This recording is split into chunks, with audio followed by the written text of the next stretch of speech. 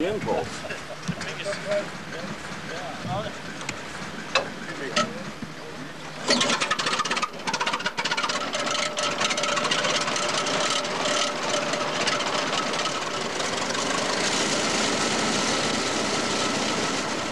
this is a square turn tractor, about a 1917 model. It was made in Norfolk, Nebraska.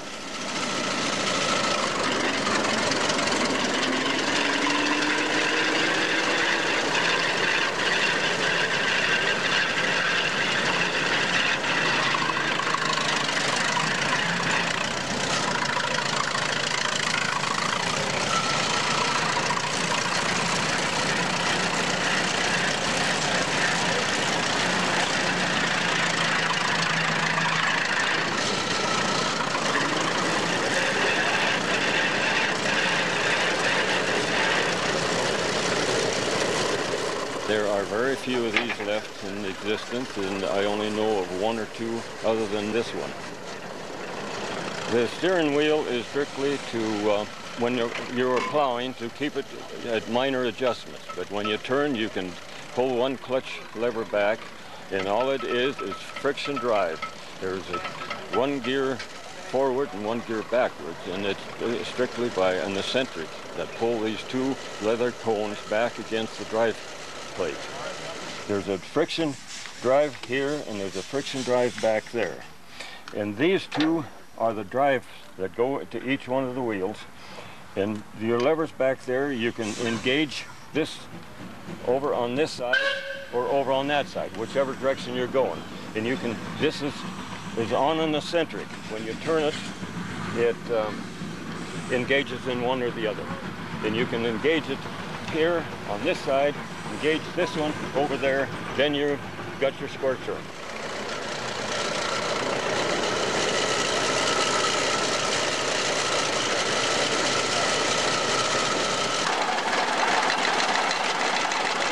This is a Minneapolis 2550, built from uh, roughly 1911 to 1914. It's a four-cylinder upright engine. Uh, the uh, engine is uh, jacketed meaning that the uh, sleeves come down over the engine. It's not part of the case itself. Uh, runs real nice. It's noisy as heck underneath that, uh, that cowl there.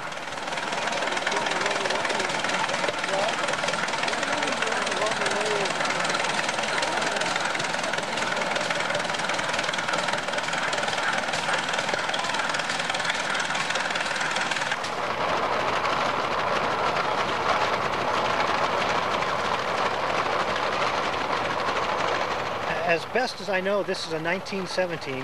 It's an Aultman Taylor 3060 tractor. And the way you see it back there now is, is original. It's never been restored. It was one of Carl, uh, Carl Mehmke's father, Walter Memte, who started the collection. It was one of his original tractors that he farmed with here on the property. And uh, the bits of paint you see are original paint. Early gas tractors used radiators that were much like boilers on the steam tractors. You can see it's got tubes in it, just like a boiler does and this one has fans on it. Before we started it, we went and looked at lubrication, made sure that the lines were flowing with oil, got some gas in it, made sure it had a spark, and just kind of looked it over to see if there was anything broken or anything that we'd need to look at, look at after it got running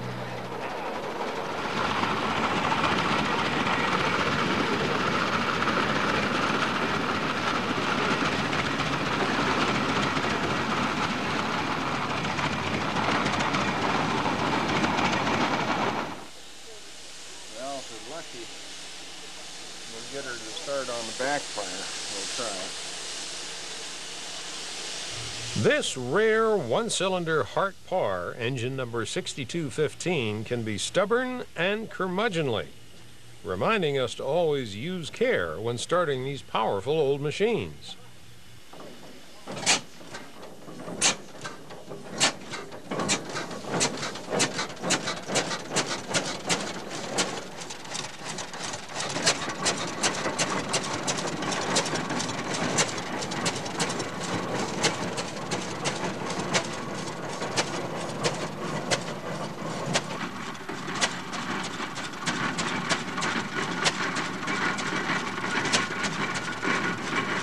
Well, my father bought a tractor, which is that one-cylinder Hart Parr, And it is in the scrapyard. I would say it would be about 1960. Somebody brought it in complete. And it is our, one of our rare tractors, that one. And we worked on it. It was complete, but it was completely rusted up. And we ran it here today, and, and uh, it's quite unusual.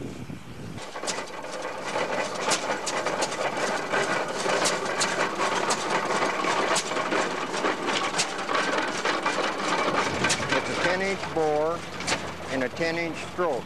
And it turns 500 RPM we're supposed to. We're running about 430 RPM. We're down a little bit. And as I understand, they're very rare, possibly maybe three of them in the world.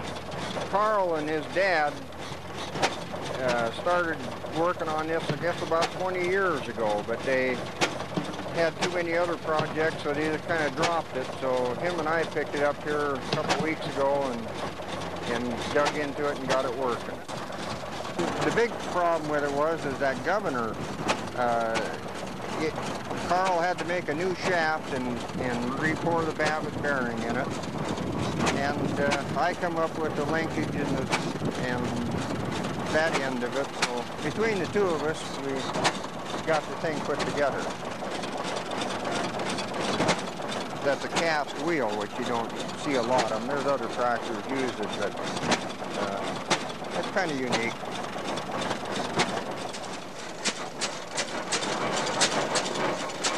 Oh, I like them all. I like them all, but we have several one-cylinder tractors here, which is a Hart Parr and a Rumley, and uh, I just uh, smile all over when they fired up.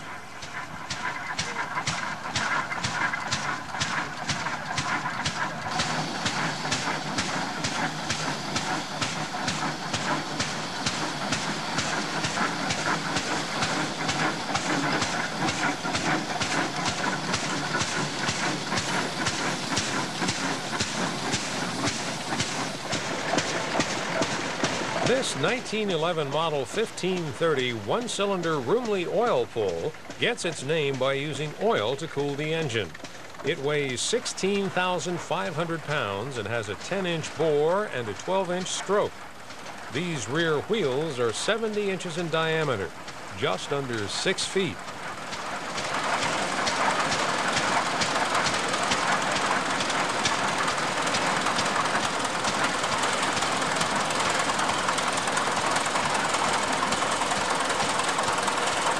Since we're all fired up, let's pin on a few plows and take the 75 and 110 out for a test drive.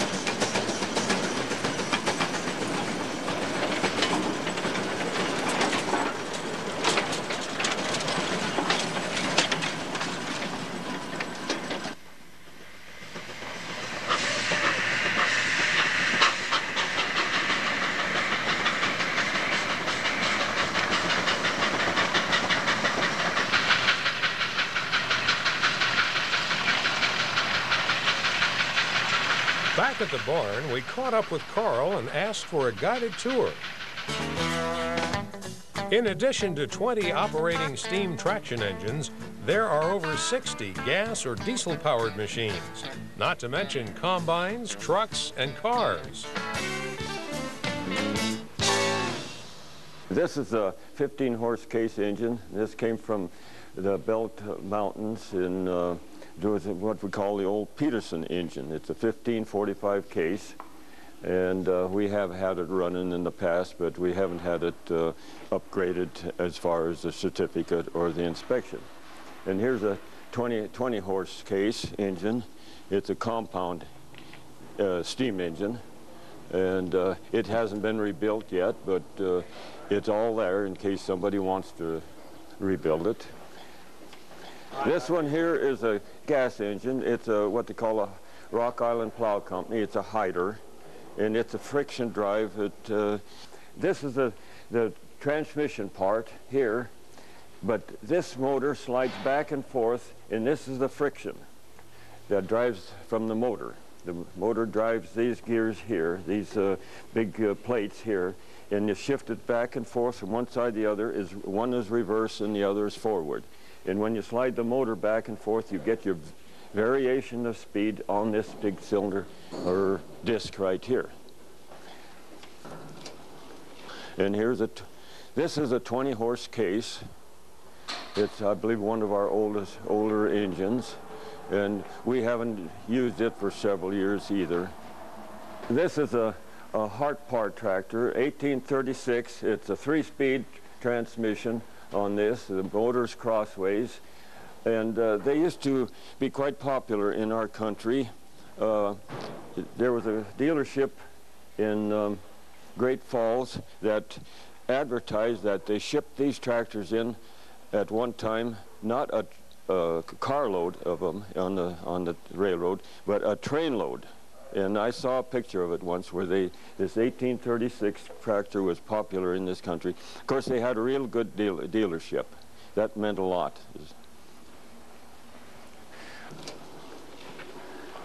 This is a 3060 Hart Parr tractor, and it was very popular in its day. It had the reputation that uh, this tractor, they called it the Old Reliable, is the one that more or less put the steam engines out of uh, business because it was run by one man, and uh, it was uh, oil-cooled, very dependable, two-cylinder, and they advertised in the, in the manual that uh, if you had a light load, you could run it on one cylinder for a half a day, then switch it over and hang up the other cylinder, which is the valve, and then it would run the, it would just lighten the load and use less gas. But on a heavy load, well, then they would use both cylinders. Here's another Hart Parr. It's uh, 1836, and this, uh, this is a two, two-speed tractor. The other Hart Parr that we just showed a little while ago at 1836 was a three-speed.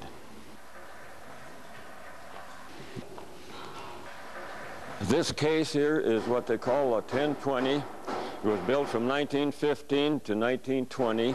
They had this arrow on the front because the driver couldn't see where the wheel was at, so they had an arrow to point which direction the wheel was turning. And it was a very popular tractor in its day, but it was only three-wheeled and it had a tendency to tip over. Now this tractor here is a 2545 case, about 1930. It was 25 horsepower on the drawbar and 45 on the belt. Now this, this tractor here is a 2040 case. It was built from 1912 to 1920. It was very popular tractor, two-cylinder post. It had an eight-bore, eight-inch bore and a nine-inch stroke, and two forward speeds, one reverse. This is a Rumley, a 20 horsepower. It was a very heavy, heavy engine. It came from Big Sandy, Montana. It's a two-cylinder, and we used to run most of these steam engines on our thrashing days in the 60s, 50s and 60s, 70s. But we haven't had this one up to date for 20, 25 years.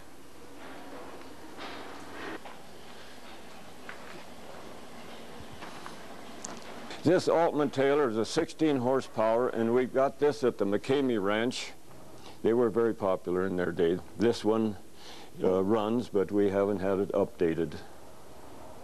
This engine here is a 20 horse advanced engine, and it came from Bozeman, Montana, and uh, it was a uh, an uncle of Jim Dawson, who was a very uh, uh, close friend of my dad's.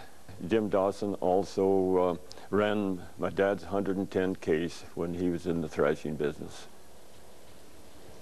This engine here is a simple advance engine, and we restored it in 1968, and it come from Missoula, Montana. This is an Avery tractor, in 1911. It's a 30 horsepower, and we call it an undermount because the undermount, the motor is underneath the boiler, and the rest of the engines, the motors are on top of the boiler. That's what makes this engine so tall is because the motor is down below. And this engine came from Wolf Creek, Montana, and it was back in the mountains, and we had to truck a Caterpillar up in the hills and pull it out, and of course load it on the truck and bring it back down. As a collector's item now, it's a very sought-after engine because it's unusual. The motor is underneath and the boiler is up on top. This steam engine here is a 2575 Gaar Scott. My father and I went up to get that in the middle of the winter, and it was frozen in the ground, I'd say about a foot deep. Uh, and we chiseled and we worked on that for three or four days getting it loose. And when we finally got it loose, well, we hired a D7 to come up and pull it out. And it was, it's completely restored. It's a very very powerful engine. It's a two-cylinder, and it's a heavy boiler. It's a butt strap boiler, and it's a, what they call a rear mount, which is uh, used for plowing as well as anything else. But this was originally used when we got it in the sawmill. Uh, this is a, a six-cylinder uh, crawler tractor made by the International Tractor Company, and it's a 1935, they call it a T40 and they didn't make too many of them. Most of them were made a, a four-cylinder diesel. This is a T20, and it was made in 1936, and it was right about the same time that they were changing colors. The original, the four, the first uh, international McCormick Deering tractors were kind of a battleship gray, and in the 30s at some time they started painting their tractors red. This is a 1929 Caterpillar, a 10 they called it. That's the smallest Caterpillar they made in the 20s sometime. It's one of the smallest Caterpillars they made at that time. And this is a, a 15 Caterpillar. That's the next size larger. Same vintage. They were after the 15, then they come with a 20 Caterpillar and it's made in the 20s, 1928 this one is, run 1100 RPMs, 28 horsepower. Then the next size larger is this 30. This is a 1926, it's a 20 Caterpillar. And uh, that was a very popular tractor in its day. In the 20s, then they have this larger tractor here. It's what they call a 60. It's a, another four-cylinder, a 1928, and it's a six and a half inch bore and eight and a half inch stroke. It runs 650 RPM. This was a very popular tractor for construction or road building. And we had one farmer here that farmed with two of these. Now this tractor here is a Model 75 Holt tractor, built in about 1917. And it, uh, at that time, the Caterpillar, or Holt, whatever it was then, had the front wheel on the front there and a track in the back. And uh, as I understand, in later years, they found out that they didn't need that front wheel. When this was pulling real hard, I've seen it, you know, the front end was right up, the wheel was off the ground. And it has a way of being started with a bar. You insert the bar in the flywheel and pull it over, over such as that. But one thing you had to make sure that you had your magneto or your spark set right or it would fire backwards and when it did that it would throw the bar and if you happened to be in the way of the bar, well, it was more or less curtains. It used the steering wheel, also steering clutches on that right-hand side. Now we can come over here, and here's a couple of later model Caterpillars. This one here, there wasn't too many of them around this country. It's a Caterpillar 28. It was made in the 30s, 33 to 35, and uh, it was uh, it was a good machine, but there wasn't too many of them sold. Now, here's another Caterpillar that was made in the 30s. It's a 25 drawbar horsepower, but they called it the 22. And uh, there was quite a few of these around. The, the farmers were using smaller tractors then, and, and uh, after they got, uh, in later years, they'd come up and, and used bigger tractors. Well, this is a 1937 TD40, and uh, this uh, International had a unique way to start these diesel tractors. You had a conversion on there that you opened a chamber, combustion chamber, with another valve, and you started them on gas, and after they got so many RPMs or warmed up, then it would be switched over to diesel. And it worked, uh, it worked real good. This this is a T35. It has a six-cylinder gas engine. It's a, a, little bit smaller bore than the T40. And it was a, uh, there wasn't too many of these engines around. I had quite a time finding this, this engine here, a, T, a T35. This tractor I spent many hours on. My father bought this, it had been in a fire, and he bought it and completely rebuilt it and it's a TD35, and it is the same operation as far as starting it as a T40. It'd go started on gas, and it'd run so many RPMs, and then you'd switch it over to uh, to uh, diesel. Now, when when my father bought this tractor, it had been in a fire. Uh, a neighbor of ours uh, was a mechanic on it, and he was rebuilding it or working on it, and he spilled some gas on a light bulb and it set the whole building on fire. And uh, after we rebuilt it, we used it for years and years. It was a very trouble-free engine, tractor, and uh, it was very dependable. We had to upgrade it a little bit. We put a different uh, fuel pump on it, but other than that, it's a very dependable tractor. And it, a person could take most of these tractors, these um, internationals and put them right out in the field today and work them. This tractor is a gray tractor. They call it a 1836 gray.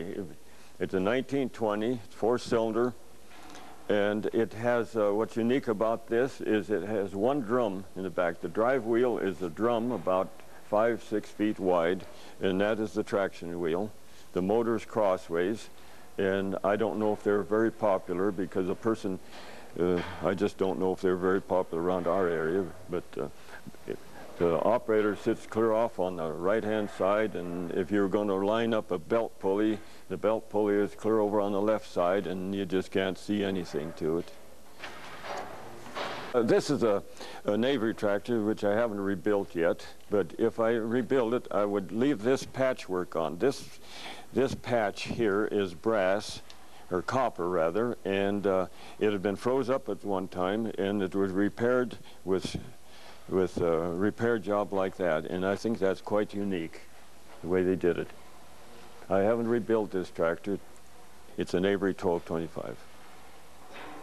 This is a Minneapolis, a Cross Motor Minneapolis. It's about a 1930-31 model. Uh, it was quite popular tractor in this, this area and it's what's called a Model B. It's uh, they had the Model A to start with, and they had a tendency to, it was shorter, and they had a tendency to rear up a little bit when they pulled on it, so they made the, the tractor maybe 10, 10 inches or so longer and called it the Model B.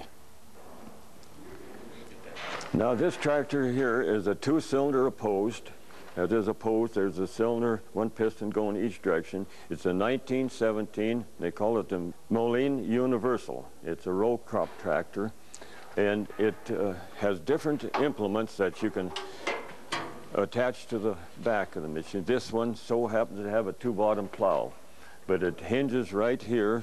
When you steer it, the, the front end of the tractor turns. It's hinged in the middle. And of course, this has a plow hook to it. You can put a disc behind here or any other implement. And if you parked the tractor, you had to line up the spokes just right here with the crank to line up the spokes so you can get the crank in there. If you parked it any other direction there or in the wrong place, then you had to move the tractor by hand or some other way to get the, get the crank in there. These are two John Deeres. This is a 1927 model. This is a 1928 Model D, but uh, they're both on steel. This is a McCormick Deering Model F30. That was the largest of the of the uh, Farmall type. This is a 1932 model. Got it on steel on the rear. Now this is a 1020 International. They had a 1530 and a 1020. In our area, the 1530 was the most popular, but there's quite a few of these. We had a real good dealer. Now this tractor here is an International McCormick Deering, a WK-40. You started on gas and you switch it over to diesel, or distillate. Now my father bought this in 1936 and uh, I thought that was the grandest tractor that was ever made. And if I got a chance to drive it, I thought, well, that was, I'd never get enough of it. But after a year or two, I had plenty. It's a high-speed motor. It runs 1750, I believe. We used this for years. It was a, very powerful tractor. This 75 Monarch is quite popular in this country for farming and construction. It's a 1928 model. It has a LeRoi motor in it. It's a six and a half by seven inch bore. And um, these uh, Monarch tractors, uh, instead of having bull gears in them, they had roller chains in the back for the final drives. In here, most tractors have uh, final drives, big gears in, in here to drive the tracks, where this has a big roller chain, one on each side. And we got this from a Caterpillar dealer in Great Falls, and he donated it to this museum. His name was Henry Sheffels, and he passed away, but his sons still live in Great Falls. They don't have the Caterpillar dealership anymore, but they are farmers, very successful farmers north of Great Falls. This is a Monarch tractor too. It's a 50 crawler tractor, and it was used on a farm just north of our place here. I acquired it, rebuilt it, and put it in the museum. It's a 1920, and it has the same roller chain drive in the back as the 75 Monarch. This is a 35 Monarch. Well, it was Monarch, and uh, Allis-Chalmers took Monarch over, and uh, they merged or was taken over, and they were using uh, what parts they had, as I understand, up until they uh, went in with their own Allis-Chalmers tractor. And all three of these tractors here, the Monarch, the 75, and the, the 35, are run with, you run them with steering wheel. You have a steering wheel instead of steering clutches. But later on, they went to the levers. Now, this is a, a Russell tractor. It's a small one. it's a 1020 horsepower, but 1917 model. And I got this from a fellow in Oregon by the name of George Best. And uh, the only time it has ever run after I got it is when George comes. He, he likes to play with it even if he has it, doesn't own it anymore. It's uh, the only model of the 1020 that has the, the, the belt pulley on the front later on, next year, they put the belt pulley back here. And this is 1917, as I understand, is the only year that they put the belt pulley on the front. This, they, uh, they used the, the Holstein bull as uh, emblem. And then this one they called the Little Boss. Now this is a Farmall, McCormick Deering Farmall, an F14. It's the year 1938. It's 14 drawbar horsepower. It's uh, was made from 1938 to 1939, and it's just about the same machine as this F12 here, except the motor ran 250 RPMs, RPMs faster. And uh, with the steel, this tractor sold for 630 or for $55, something like that, new. And right here is an F20. That is the size larger than the 14. And uh, up here, uh, this tractor here is a Farmall. It's one of the first Farmalls built by uh, uh, McCormick the Inter International Harvester. It was built from 1923 to 1932 and it was known as a regular. And it was a very popular tractor when it first came out because it had the uh, cultivator and everything attached to it and also it had an open gear which uh, later on they enclosed the gears for the steering and it kept improving every year but but this is one of the first Farmall type tractors. This is a W30 and that was uh, come after the 1530 Internationals. Uh, there's a pair of 2035 Rumleys. They're both the same. They're what they call a lightweight. They're two-cylinder drive, two cylinders to them. And uh, the only difference between these two Rumleys is one has a solid flywheel over there, and this one has a spoke flywheel. And as I understand, I was told that the solid flywheel, if there was any knock or any vibration, anything in the motor that didn't sound right, it, that solid flywheel was like a sounding board that made it magnified all the sounds. So they went back to the spoke flywheel like this one right here. They were quite popular tractor in their day. These are 2035s, and here is a 3060 oil pull Rumley. And when they say oil pull, well, it strictly means that it's, uh, as far as I know, it's uh, oil cooled. It uh, doesn't have water to cool it, it's oil cooled. And I've never run this engine, but uh, it runs pretty good. It's a 9 inch bore, 11 inch stroke, and it's a 3060 lightweight. It was made from 1924 to 1928. This is a Twin City uh, tractor. It was made in 1920. It's a 2035. It has a five and a half inch bore and a six and a three quarter inch stroke. Yeah, sure it'll run. Here's another Twin City. It's a 1728 and um, it's um, 1920 uh, 1930 model and we'll go back to this 2035 there's something unique about that or something different the oil. The valves are oiled by oilers up here where all the rest of them or most of them are made internal uh, oiling system. Where this tractor you take in uh, once or twice a day you had to take all four of them and there's twin valves on it. Four valves to each cylinder.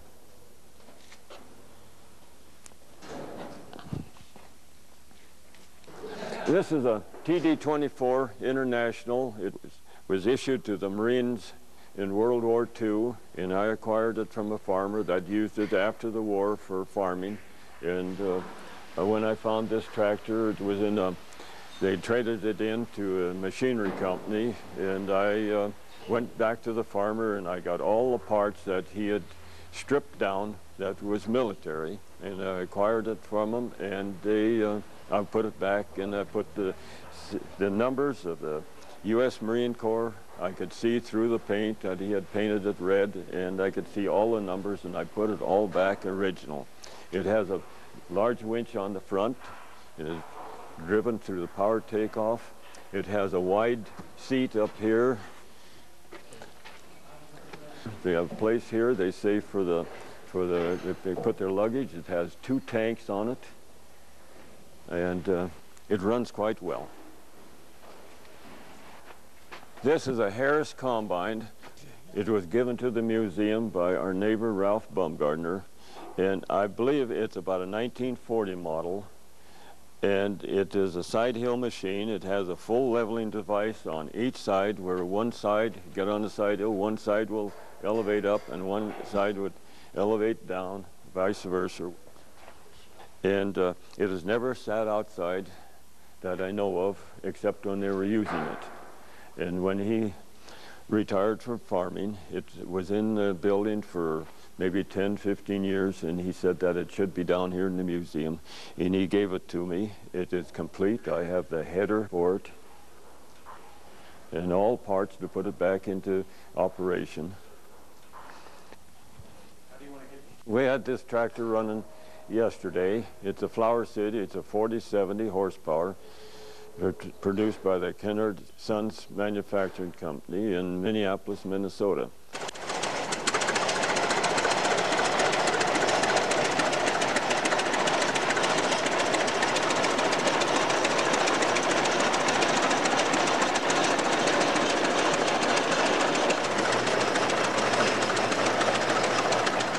It's a four-cylinder tractor, and the drive wheels is eight feet in diameter and 24 inches wide. It weighs 21,000 pounds.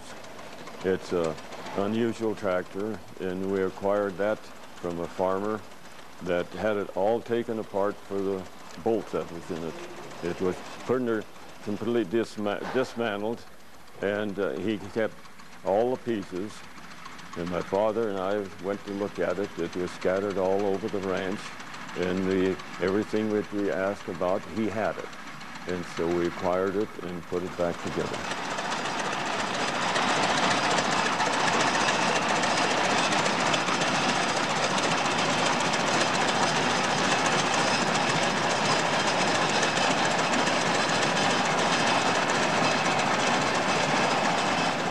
I always had shows here. The last few years we've been having a show. We don't advertise. Anybody that wants to come or is welcome to come. We don't charge and we don't sell anything here.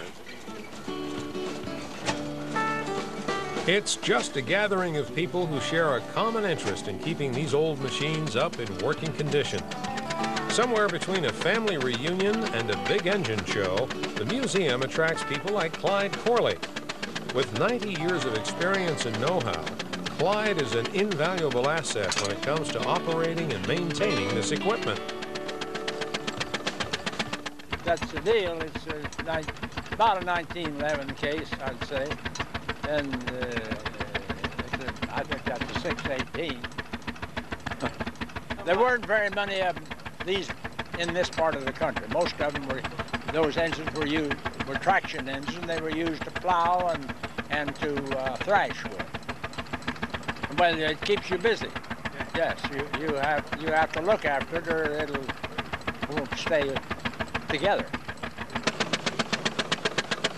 Clyde is always willing to share his expertise if you're lucky enough to cross his path at the museum. Clyde also shared some surplus steam energy to cook this afternoon's lunch. Uh, no, they, that, well, yeah, they had the steam up, so they just well used it. Yeah. Got your lens steamed up, maybe? Watch that hose there, buddy.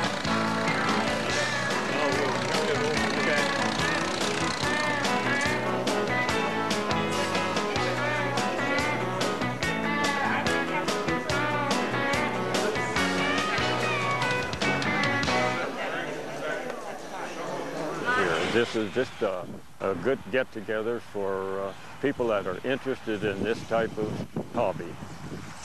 My father started the thrashing bee here in about 1954, and he proceeded to have this show until he was unable to in about eh, 1970. Then we just had a a little steam up every year just to keep in practice. And since I retired about 10 years ago, well, then we've increased it and, and did a little more every year.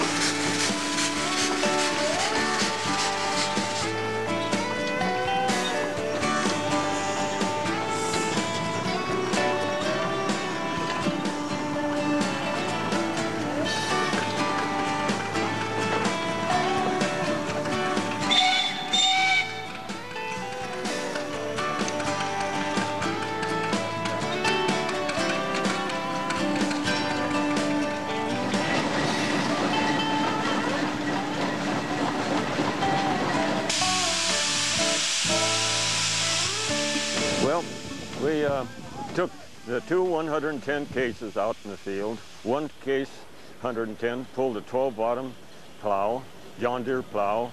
The next one, 110, pulled an 8 bottom John Deere plow. The Nichols and Shepard pulled a 6 bottom John Deere plow. And uh, 75 case was pulling another 6 bottom John Deere plow. That's uh, old steamer plows. They're all uh, obsolete and antiques. Those plows are, were used to break up this country years ago when uh, they uh, homesteaded. They tried to plow it with horses, but uh, like my father said, that the ground is a gumbo type, type clay, real hard to plow. And they said that they couldn't hardly plow it with horses, they're just hard on the horses. So they brought these big old steamers into the country to break this ground for the first time, to plow it.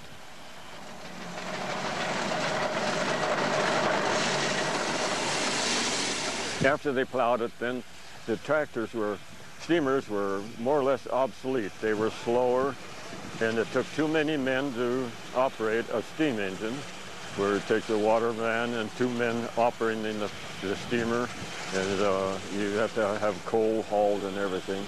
And so the gears were open gears too, and in the loose ground, the gears wore out so fast. So then they started coming in with lighter tractors, in enclosed gears. And most of these tractors were either, if they were saved, they were used for uh, thrashing, sawmilling, or something like that, where they didn't use them too much for traction. And uh, they were just got obsolete, and of course every, I remember every uh, farm had a lot of them sitting in the back lots.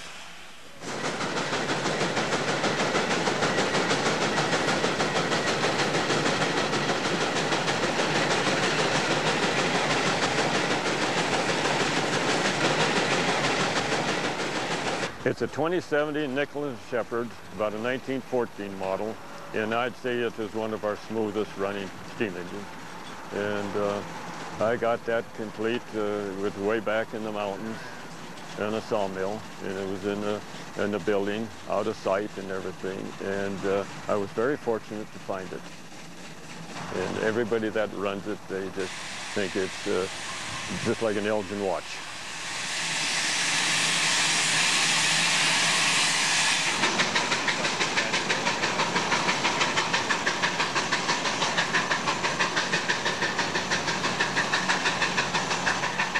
This 110 case that uh, my father started farming with was back in the mountains on an upper place, what we call a mountain ranch. And uh, it was uh, back in the hills. And people didn't uh, have too much uh, as far as uh, cutting torches to cut these tractors up. And so it was salvaged, and it is one of my dad's tractors that he started farming with. It happened to be back up in the mountains.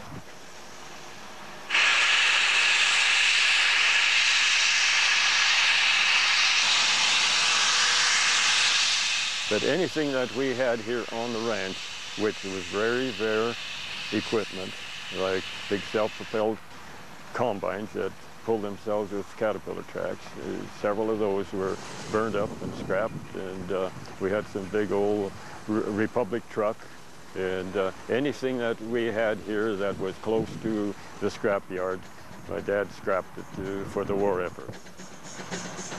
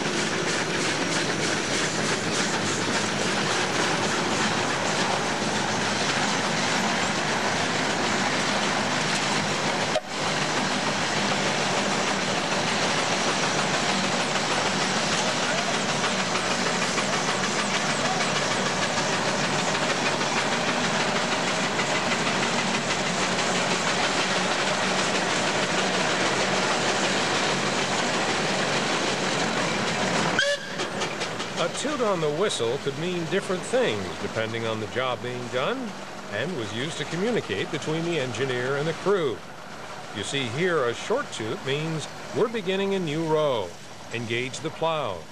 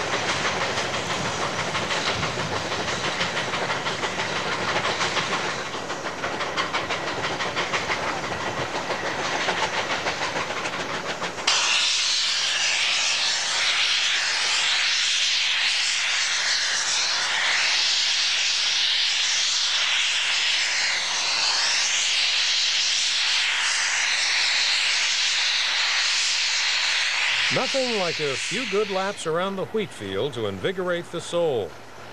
Give the old bones one last drop in the hay, so to speak, before heading back to the barn for winter.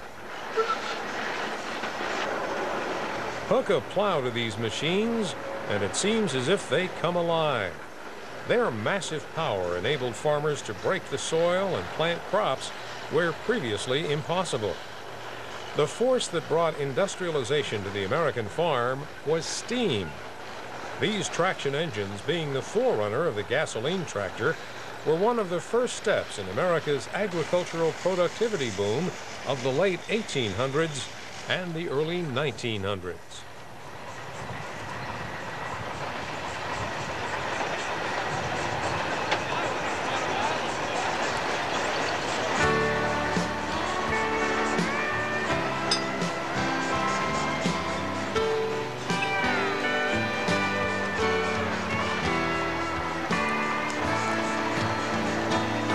Already started to put things in for the evening, including this freshly painted Wallis tractor. First built around 1928, this tractor has been sitting patiently in back, waiting its turn for a second go-round, thanks to Carl's continuing restoration and preservation efforts.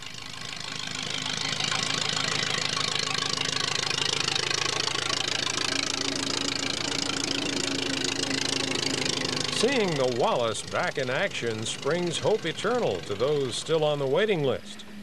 So if you've got some spare time and find yourself in this part of Montana, do yourself a favor and stop in and visit the museum. You surely won't regret it. You might even end up adopting a restoration project of your own. If you know anything about railroad engines, we've got one waiting for your attention. There's always plenty to see and usually something to do. We were never quite able to get the Avery 4080 up under its own power this trip, nor were we able to count all of Carl's tractors, and I guess that's a lost cause. The number changes on a regular basis as new projects reach completion. So now it's back inside until next year when I bet the Avery is up and running along with a Montgomery Ward sawmill that has since been restored. We want to thank the Mehmke family for their dedication and perseverance in keeping this museum alive and open to the public, so we can all continue to experience and learn from the hard work of our ancestors whose labors bore the fruits of an agricultural industry that dominates the world to this day.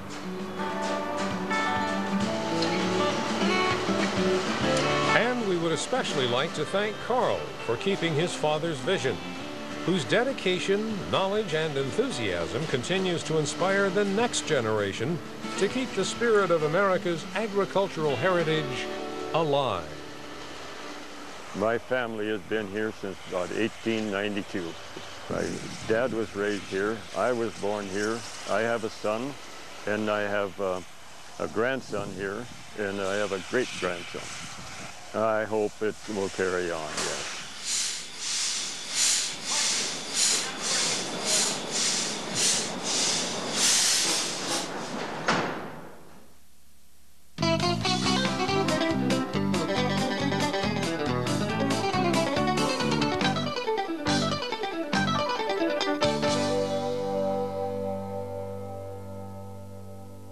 For a copy of this show on VHS video, call toll free 888 560 9980 or visit us on the internet at www.ironclassics.com.